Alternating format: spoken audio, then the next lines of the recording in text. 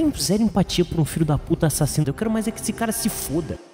Matem logo esses filhos da puta! É falou que os caras foram humilhados. Não. Tenho a impressão de que eles são sempre humilhados, cara.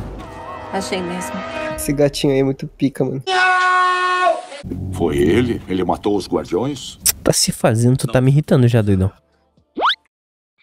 Sexo.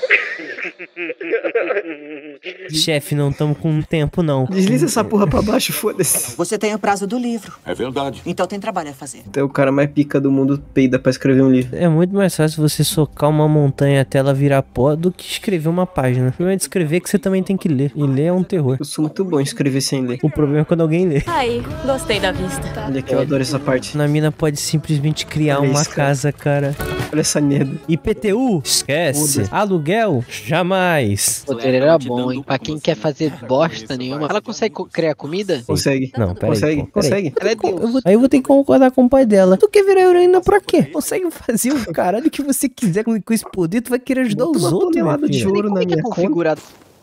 Pô, e ela tem internet aí ainda? Ela faz internet. Caralho, gente, gente, se eu tenho um poder desse, irmão, eu faço um dedo do meio gigante pra humanidade e eu vou viver a minha vida sem pagar uma conta, filho. Vou fazer uma casinha pra mim, né? Fazer uma casinha pra tu, Eduardo. Você é o cara que falou que se ganhar 100 milhões de reais você não ia dar nada pra mim. Se eu gasto um bilhão. Caralho, olha que filho da puta, eu não ia tirar nada. Eu ganho um bilhão e tu não me dá nem um milhão e meio. Caraca, um milhão e meio? Era um milhãozinho. Você ganha um bilhão, caralho. Se eu te der um milhão, você não vai reclamar, não.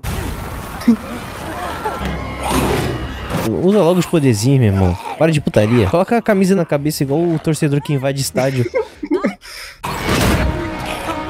Moleque, desculpa se ninguém notar depois dessa.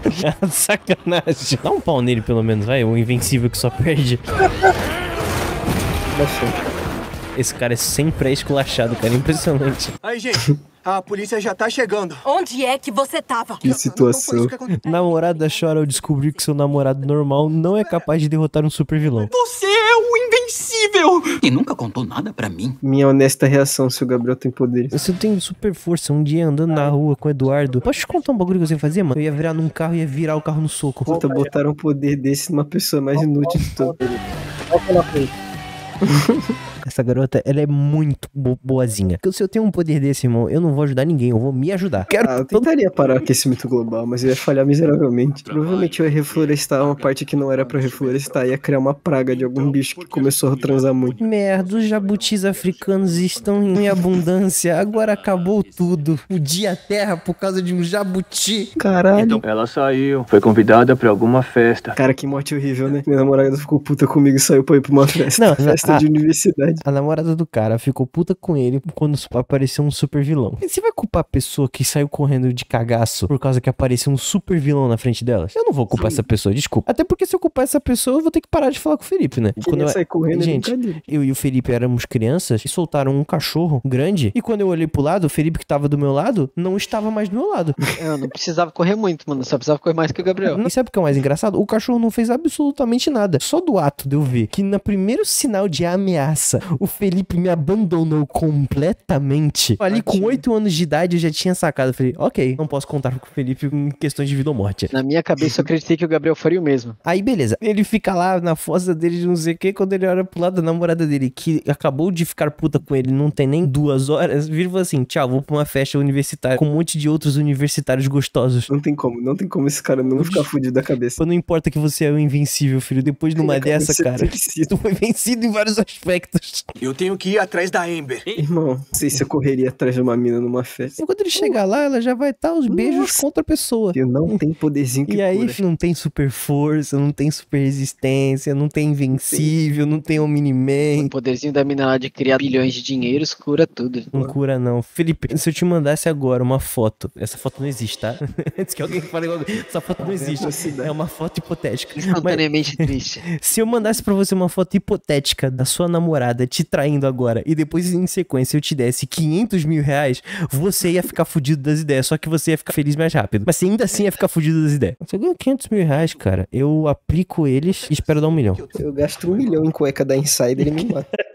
de acordo com o plano. Passou-se 10 anos do meu investimento e finalmente meus 500 mil viraram um bilhão. Vou comprar tudo em cueca da Insider e me enforcar com elas. Quantas tech t-shirts eu consigo enfiar no cu?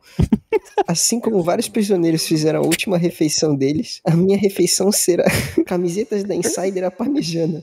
Hum, Chubby Bunny 1, Chubby Bunny 2. Não esqueça de usar o seu cupom da Insider. A marca não pagou royalties ainda pra gente, a gente não pode falar dela. É, mas aí ele vai se importar comigo, você fica tranquilo. O cara o patrocínio brochadas patrocina qualquer um. Falar que eles são tudo um bando de filha da puta. Porra, eu queria ser meio brochada. Queria ser meio broxa. Pra mim eu já tava feliz. A casa dos Marcos! Aquilo mudou a minha, a sua! Cara, por que, que o Mark é tão imprestável, cara? Olha isso, cara. Pof. Hoje foi um dia que ele perdeu muitas coisas. Ele apanhou, é, tadinho. perdeu a namorada, Nossa. mas pelo menos ele deslocou o maxilar de um cara. O que vão fazer com ele? Eu adoraria trancar ele e sumir com a chave, mas a tecnologia é impressionante. Tchai, Em Estados Unidos sendo Estados Unidos. Sabe como é que é, gente? É pelo bem da ciência. Deve estar um cheirinho esse lençol. Pronto, tá não tá mais. É, Ou seja, ela poderia ter se limpado antes de dormir, mas ela só quis dormir suja mesmo.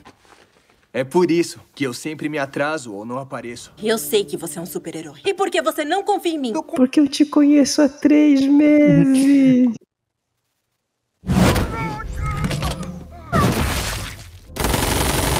Gente, vocês são muito burros, cara. Se eu vejo ele fazendo um bagulho desse, eu ia ficar quietinho. O governo não paga bem o suficiente pra isso. Ah, gente, vo- ai não. Ô, gente, desculpa, é o governo dos Estados Unidos mais burro que eu já vi na minha vida, cara.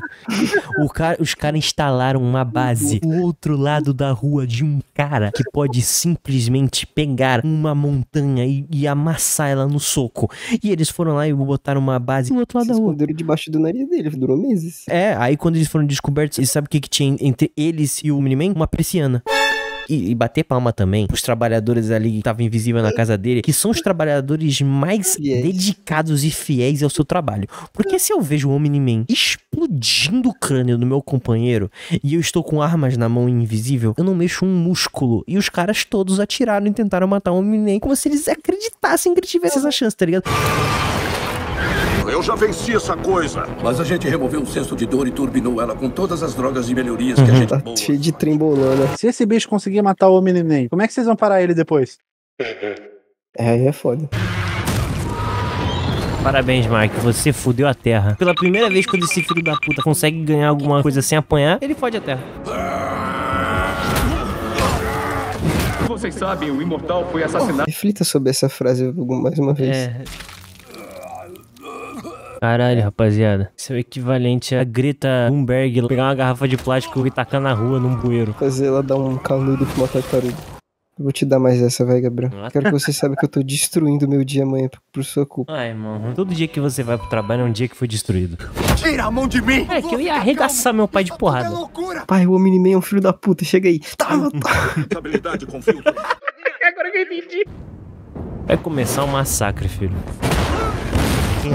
É porque tu vai ser humilhado. Tá aqui meu filhinho atestado. Droga, eu vou ter que pegar ele lá em São Paulo. Tanto esforço. E por quê? Ver aquele homem perder a vida incomodou você? Aquilo doeu? Vamos ver se você aguenta isso.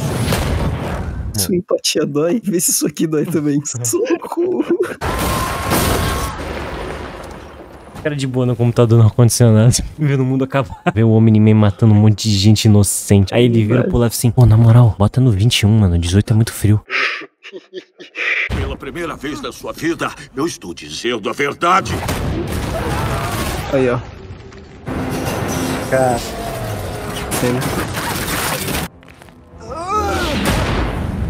Bate no saco, caralho, papela, filho da puta. Meu Deus. Que é isso, meu Deus. Deu pra você? Eu vou impedir você. Vai sim. Pois eu pô. estou esperando.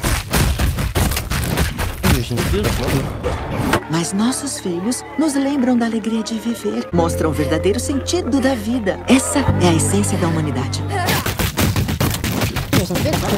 Eu prefiro melão. Que merda! Aí, ó. Parou ele. Eu não comprei essa ideia de que ele não é um filho dele, não. O que vai sobrar pra você depois de 500 anos? Você, pai, Ainda vou ter você.